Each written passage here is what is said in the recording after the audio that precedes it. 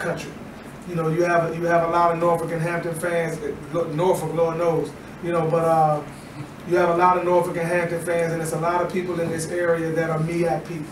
Uh, again, I, I, I, was happy to be a part of that game last night because, again, I thought the city, I thought the conference, I thought both universities deserved it.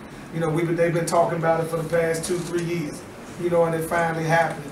But the city opened its arms. It, it's treated everybody. It, it, to me, it's no different than the ACC, just the number of people here the number of games being played and drawn out over the week. I, I thought Norfolk did a heck of a job, and I, I hope it stays here as long as Hampton wants to keep me.